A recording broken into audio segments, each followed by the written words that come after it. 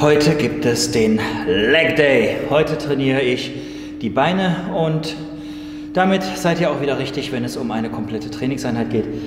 Da die letzte bei euch recht gut ankam und ich habe euch ja gefragt, gefällt euch dieses Format, wo mal auch einfach länger die Trainingseinheiten einfach dokumentiert werden und ja, ihr fandet es gut, ihr habt zahlreich kommentiert, also vergesst auch nicht jetzt, sobald ihr etwas seht, haut in die Tasten. Und wenn es drei Kommentare am Ende sind, dann macht drei Kommentare statt nur einen.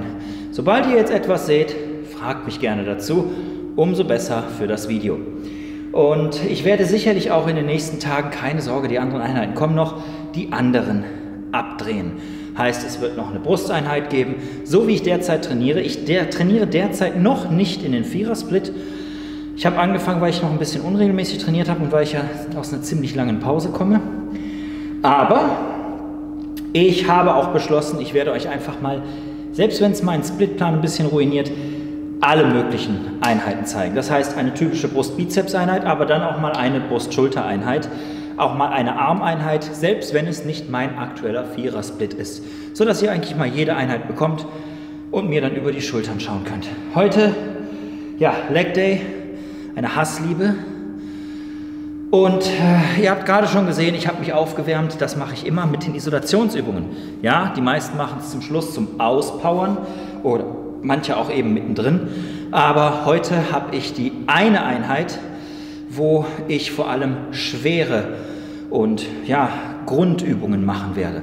Heißt, im Kern ist es Ausfallschritte, die ich machen werde, werdet ihr später noch sehen. Und jetzt am Anfang recht schweres Beinpressen und trotzdem vor jeder Einheit eben mit Isolationsübung aufwärmen.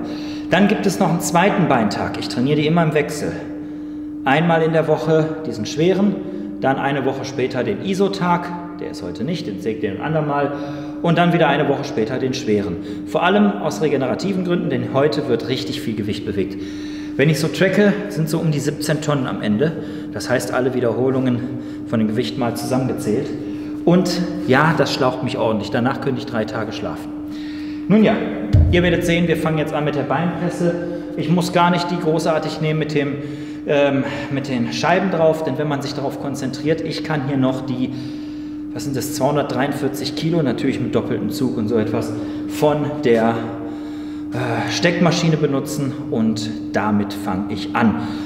Recht hohe Wiederholungen, das heißt, ich werde so bei 20 landen gehe dann vielleicht auf 15, vielleicht sogar 12 runter. Und äh, dann kommen noch die anderen Einheiten, eben die anderen Übungen für heute. Aber eigentlich stehen im Zentrum zwei und dann sollte es eigentlich knackig sein. So, wie ihr schon seht von den Einstellungen her, das ist mein maximaler Winkel, zu dem ich runtergehe. Grundsätzlich gibt es hier eigentlich nur eine Regel. Das muss zu eurem Körper passen. Heißt, wenn ihr grundsätzlich nicht so toll gedehnt seid, dazu gehöre ich definitiv, so ein, steifer, so ein steifes Brett, dann äh, solltet ihr auch nichts erzwingen. Dann dehnt euch lieber so lange, bis ihr weiter runter könnt, bevor euch hier irgendwas kaputt macht. Äh, das andere ist natürlich, wie ihr euch wohlfühlt. Natürlich sollte es nicht so ein 5 cm Radius sein, wo ihr nur noch in der Spitze drückt oder nur am Anfang oder so.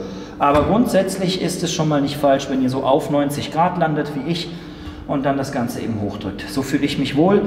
Und natürlich ist es auch eine Frage des Gewichtsbalancing. Ihr könnt teilweise erheblich mehr Gewicht bewegen. Wenn ihr nicht zu weit runter geht, dann schont ihr vielleicht auch mehr eure Knie. Und dieses Mehrgewicht könnte sein, dass es zu mehr Wachstum führt. Bei anderen wiederum nicht. Bei anderen führt die gesamte Bewegungsamplitude nach unten zu gehen zu mehr Wachstum, selbst wenn sie nur die Hälfte an Gewicht benutzen. Müsst ihr ausprobieren. Richtig und falsch gibt es hier nicht. Wer euch das erzählt, ist Kacke.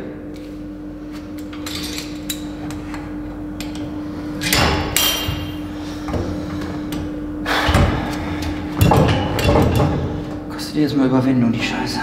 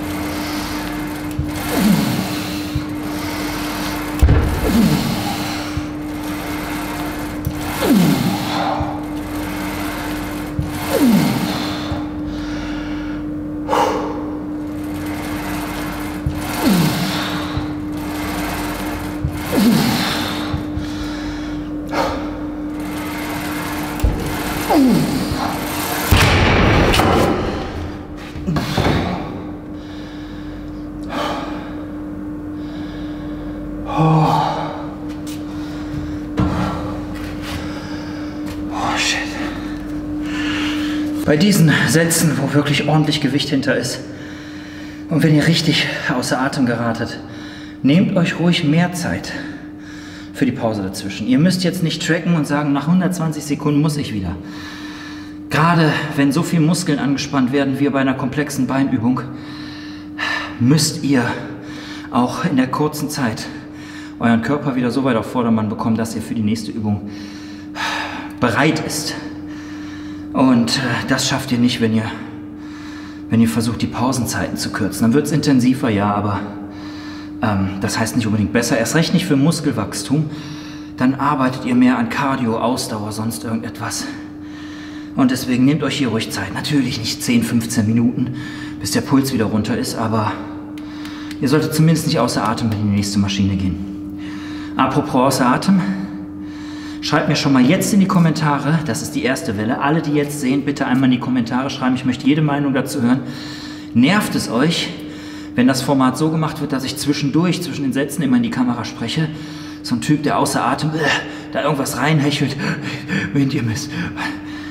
Oder fändet ihr es mal besser, ich habe auch schon einmal so etwas gemacht, wenn ich ähm, das Ganze später nachsynchronisiere und aus dem Off einfach ja, einen Text drüber spreche.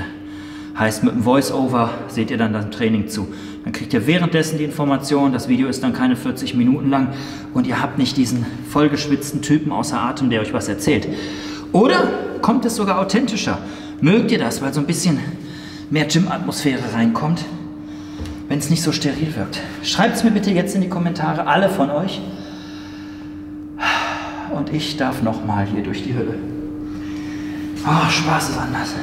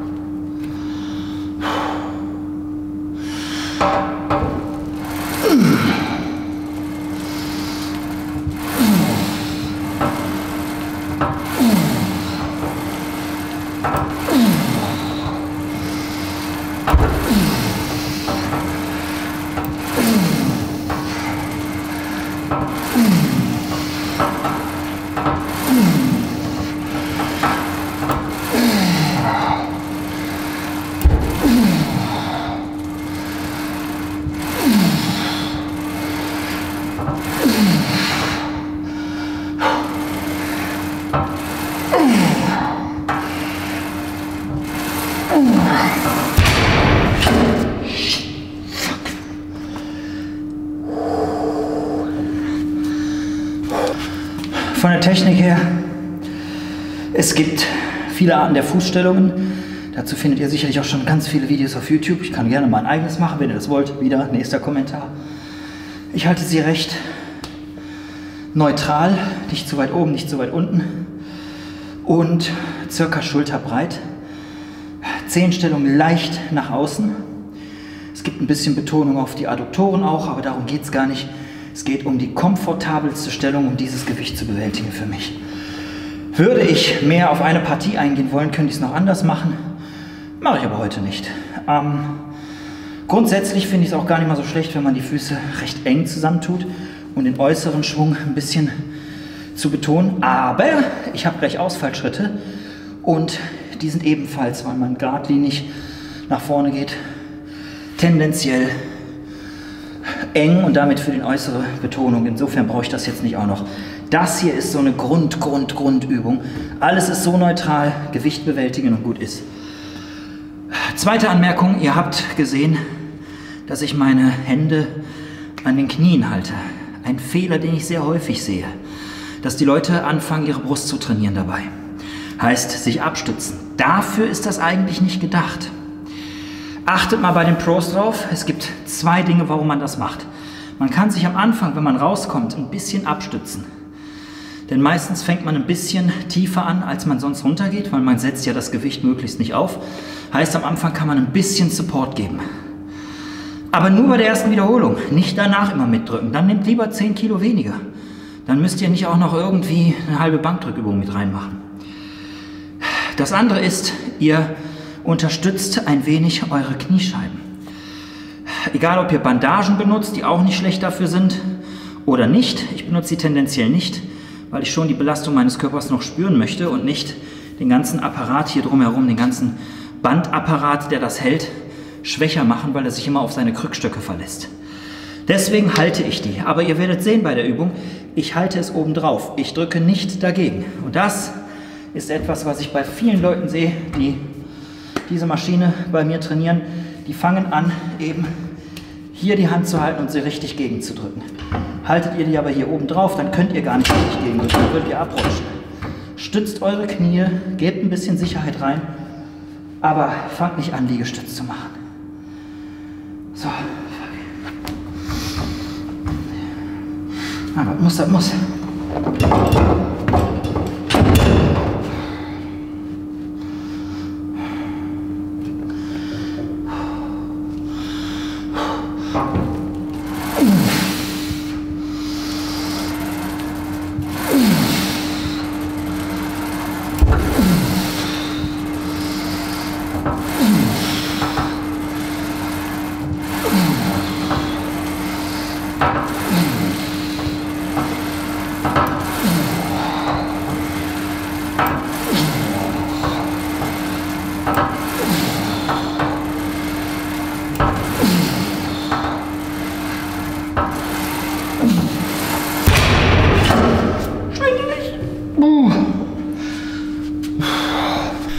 So, also ich persönlich, wenn ihr mich fragt, so ganz persönlich, bin ja der Meinung, dass ich mir bis zu dieser Stelle schon ein Like verdient habe.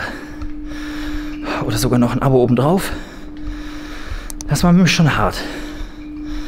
Ich habe gesehen, ich habe jetzt 18, 14 und 12 Wiederholungen gemacht. 11. Und damit bin ich durchaus nicht im höchsten Wiederholungsbereich. Gerade machen viele bei den Beinen 20, 25. Nee, das sollte mehr sein. So, Intra.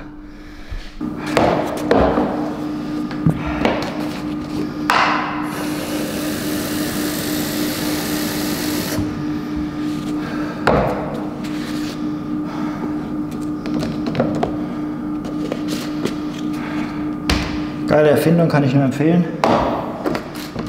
Alles dabei gibt es auch noch eine dritte zu.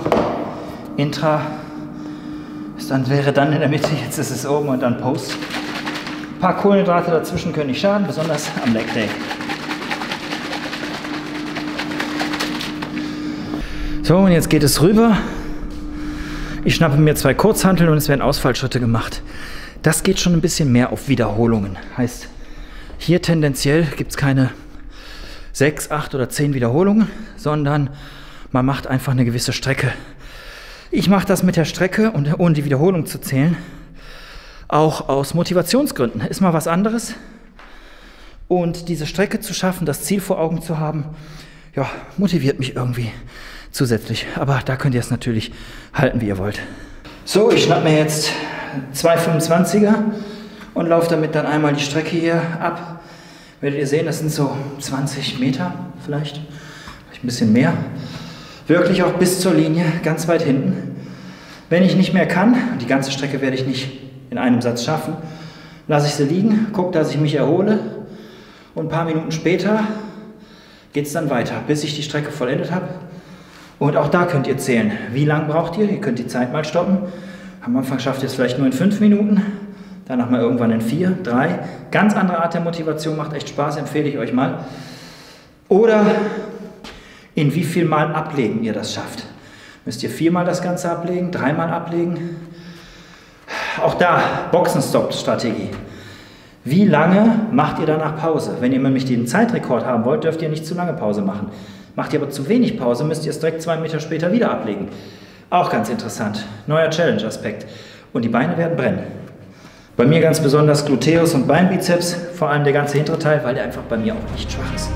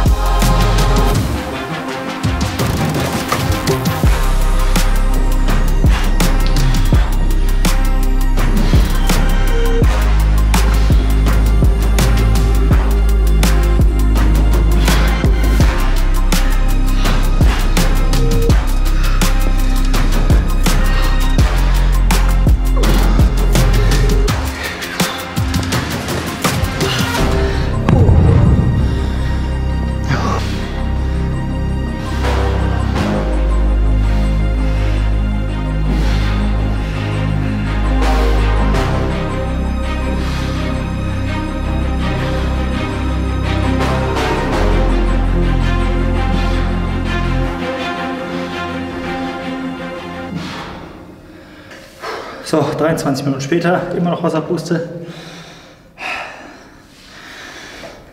Tracken nicht vergessen.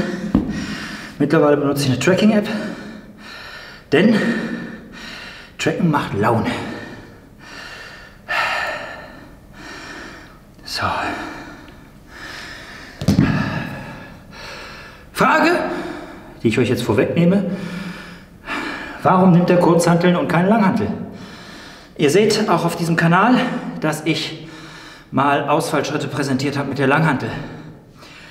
Muss ich sagen, fand ich immer viel angenehmer, denn wenn man auf Gewicht geht und das steigern möchte, rutschen einem irgendwann die Kurzhanteln aus der Hand. Man muss die ganze Zeit die Schultern und den Nacken mit benutzen. Das sind alles Muskeln, die will ich eigentlich gar nicht im Beintraining haben. Viel cooler, wenn ihr hier eine Hantel zwischen habt, die ihr auch nicht großartig balancieren müsst und dann damit runtergeht. Tatsächlich, Langhantel würde ich bevorzugen, vor allem wenn ich früher immer versucht habe, das Gewicht zu steigern. Von 70 auf 80, von 80 auf 90 und so weiter. Das mache ich im Moment nicht. Im Moment gehe ich nach Strecke und da addieren sich dann die Wiederholungen. Hier aufpassen, es ist eine unilaterale Übung, die ihr trotzdem im Wechsel macht. Ähnlich wie wenn ihr Bizeps Curls einen hier, einen da macht. Umso eher ihr wirklich nur ein Bein betont und nicht euch mit dem anderen, mit dem hinteren Bein mehr abstützt, auch dazu, guckt euch mal mein Tutorial-Video dazu an, desto eher ist es eben eine unilaterale Übung. Deswegen macht ihr also 18 Schritte, sind es eigentlich nur 9 für den Zielmuskel. So, und ich habe jetzt einmal die Strecke hin und her gemacht. Ich konnte es nicht ganz auf Kamera festhalten. Und ich habe dazu dreimal abgelegt. Technisch gesehen, auch wenn es eine Strecke waren, waren es drei Sätze. Und jetzt kommt die große Überraschung. Das war mein Beintraining. Jetzt kommen wieder die Hater. Ah, habe ich es doch gewusst deswegen. Ich muss dazu sagen, ich habe eine gewisse Geschichte mit Beintraining. In den ersten zehn Jahren war das mein absoluter Primusmuskel. Der und der Rücken sind am besten gewachsen und ich hatte die meiste Motivation bei den schwersten Übungen. Kreuzheben, und jetzt kommt es, nicht Kniebeugen, habe ich in meinem Leben nicht gemacht, sondern Hackenschmidt äh, Kniebeugen und die Presse davon. Und ähm, war immer das Stärkste. Aber ich bin trotzdem selbstsicher genug, dass ich jetzt sage, seit 10, 12 Jahren trainiere ich nicht mehr so gerne die Beine. Ich habe schon oft die Gründe genannt. Beine sind am anstrengendsten, machen also mein zentrales Nervensystem und ich bin sowieso schon so eine Pusteblume unter den Bodybuildern richtig kaputt. Ihr seht, solche Einheiten hier, selbst wenn ich teilweise mit 10, 15 Jahre jüngeren Leute trainiere, die liegen dann auf dem Boden. Oh ja, ist das ein Angeber. Aber deswegen verkrafte ich das nicht so leicht. Und macht meine ganze Woche kaputt. Außerdem stoppt es dann all meine Oberkörpergains. Und ich bin Lifestyle-Bodybuilder. Nicht Disco-Pumper, Lifestyle-Bodybuilder. Ich will vor allem im Alltag gut aussehen. Jetzt kommt's. Das ist der Muskel, der am meisten Anstrengung erfordert am meisten Carbs frisst, das zentrale Nervensystem am meisten kaputt macht, die anderen Gains am meisten aufhält und den man am wenigsten sieht. Habt ihr die geilsten Oberschenkel? Wer läuft denn heute selbst noch im, Bar, im, im, im Schwimmbad mit so einer Slipperhose rum? Nun ja, und dafür mache ich Bodybuilding. Insofern, ja, das ist die erste Einheit, die ich noch mal ausfallen lasse. Und nun ja, im Alltag mit großen Oberschenkeln rumlaufen, frisst auch Energie, ihr schwitzt die ganze Zeit nur und so weiter. Vielleicht kennt das ja der ein oder andere da draußen. Aber es ist auch immer noch eine Einheit, der ich mich nicht ganz entziehen kann, die irgendwo Spaß macht, weil es einfach so ein Sport-Challenge ist. Naja, damit ist mein Training gemacht. Sechs wirklich harte Sätze. Beim nächsten Mal würde dann die ISO-Seite kommen. Wenn ihr diese Sätze richtig macht, wird kaum einer von euch noch richtig progressive Sätze danach machen. Was ich jetzt trotzdem mache, und das will ich euch nicht vorenthalten, ich gehe nochmal an die Beinstreckmaschine und power mich dann ein bisschen aus. Heißt aber, ich gehe gar nicht mehr so richtig auf Tracken von Gewicht, Wiederholungen, genau nach Pyramide, 6, 8, 10 oder umgekehrt. Ich bringe einfach noch ein bisschen Blut rein. Das gleiche mache ich noch für die Adduktoren und das war's dann. Ihr könnt noch gerne Wadenheben sitzen machen, vielleicht mache ich das gleich auch noch. Mache ich von meinem Energielevel abhängig. Intra. Und das war's. Aber das hier ist der Hauptteil, der die Weine jetzt zum Wachsen bringen soll und mich zum Wein. Oh, da hat irgendein Arschloch die Gewichte nicht weggeräumt. So, wieder rüber. Und das Schöne ist auch mental, Ab jetzt weiß ich, hey, das ist nicht mehr ganz so hart. Der große Berg ist überwunden. Die härteste Übung ist gemacht. Tut ganz gut. Naja, ich freue mich auf die.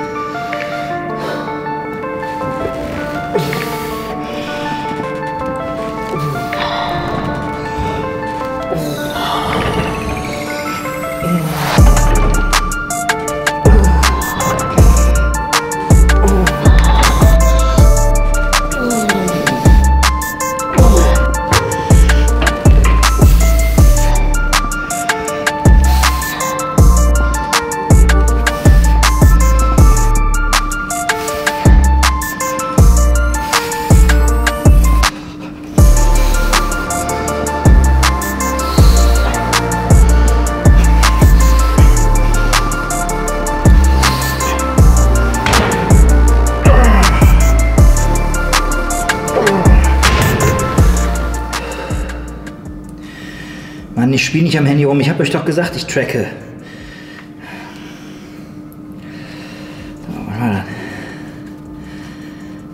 Jetzt kommt noch ein Satz mit. Ihr habt gesehen, ich habe einmal das Maximum genommen, nur sechs, sieben Wiederholungen gemacht. Ich fand sechs.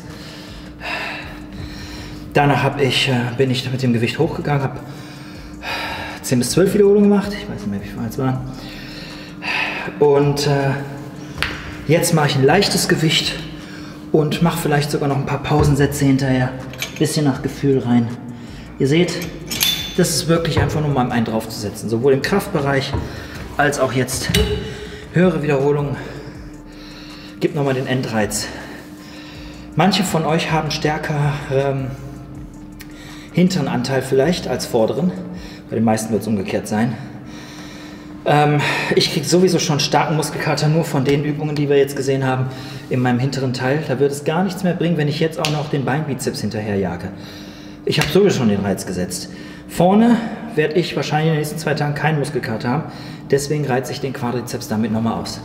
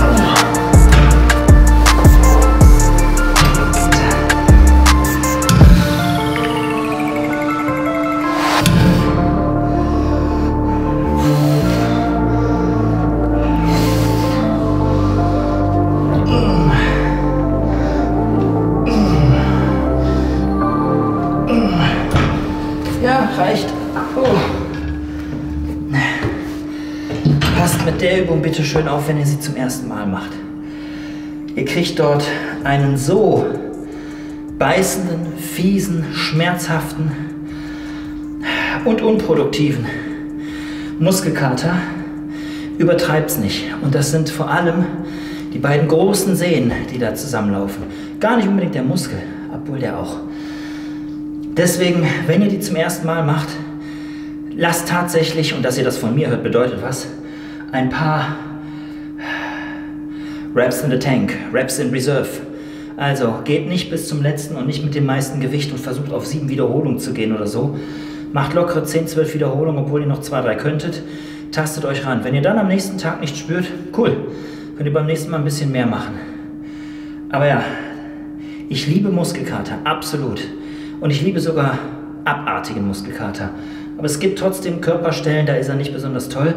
Das gehört dazu, das verspreche ich euch. So, wir haben es geschafft. Jetzt gibt es noch Post-Workout Shake und das war's. Wie ihr seht, recht simpel gehaltene Beineinheit, aber wahnsinnig hart. Ich habe jetzt, oh, ich muss mal auf die App schauen, die rechnet das nämlich ganz schön zusammen, ist ein nettes Gimmick, wie viele Tonnen ich bewegt habe. So, das Ganze war es jetzt hier.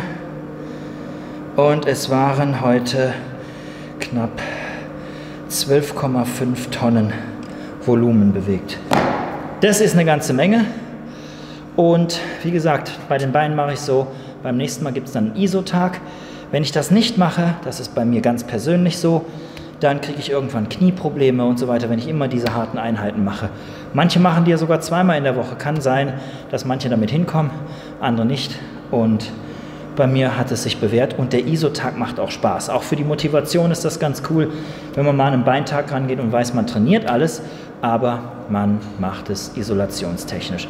Dazu habe ich auch schon mal ein Video gebracht, das zentrale Nervensystem umgehen. Da steht so ein bisschen was von der Theorie dahinter hin. Naja, wenn euch das gefallen hat, bitte um Zustimmung, falls ihr es bisher noch nicht getan habt. Wenn ihr mehr davon sehen wollt, ab in die Kommentare eure Wünsche äußern. Und wenn ihr mehr Fragen zu dem Training habt, dann auch. Ich verabschiede mich dann jetzt und äh, nun ja, wir sehen uns beim nächsten Training und das wird wahrscheinlich dann ein Brusttraining sein. Macht's gut, bis bald, euer Gotti.